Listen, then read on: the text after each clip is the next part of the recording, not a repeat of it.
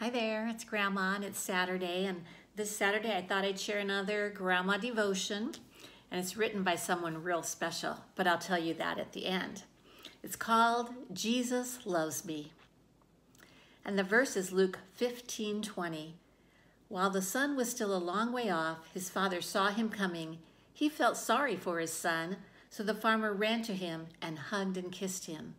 That's how the story ends, but this is how it begins. Do you ever ask yourself, does God love me even when I sin? Do you feel like you've done something so bad that God can never forgive you? In this quote from the book of Luke, Jesus is talking to the Pharisees and telling them some stories called parables. He's telling them one parable called the lost son. Sometimes we call it the prodigal son. In this parable, a young man decided he wanted his inheritance right away. He didn't want to wait. So his dad gave it to him. Then the son left home to live his own life in his own way. Soon enough, living his way didn't work out very well. The son spent all of his money, and then a famine came. He was in such a bad state that while he was caring for pigs to earn money, his hunger led him to eating the same food the pigs ate. The son remembered how even the servants at his father's house were treated better than the life he was now living. He decided he would go back to his dad and, and tell him how sorry he was.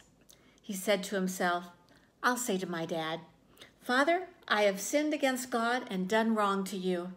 I am not good enough to be called your son. Please let me be like one of your servants. Then he went on his way.